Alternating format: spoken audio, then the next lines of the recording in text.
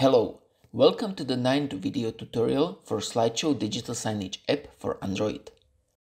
Today I will go through some of the advanced features available on Slideshow's web interface. You can currently see the homepage of Slideshow's web interface, which you can open in your computer's browser if you are on the same local network as Android device running Slideshow app. There is some basic status information on this page as well as some action buttons which you can use to control what slideshow should display at the moment. If you want to quickly display some message on your screen, you can do so via menu Tools, Show Message. Just type the message and click on Show on Screen Now button.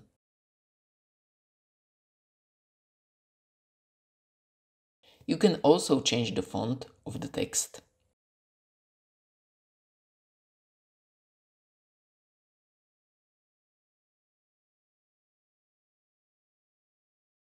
If there are other people who should be able to access Slideshow's web interface, you can create separate user accounts for them so you don't have to share your password.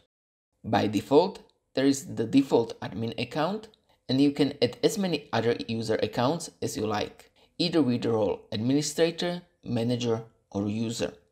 Roles manager and user are restricted, they can't access some pages. Next, there is configuration backup page through which you can backup the current setup of this slideshow instance, including settings, screen layouts, and playlists.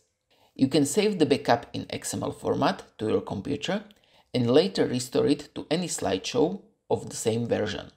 As the backup is in XML format, you can edit it in a text editor, but be very careful, it's quite easy to break something. Then there is the statistics page, where you can find how many times and for how long was the particular file displayed on the main panel of slideshow. If you ever encounter a problem with slideshow which you don't understand, you can send us a bug report through the web interface. Slideshow will automatically attach the logs, which will help us diagnose the problem.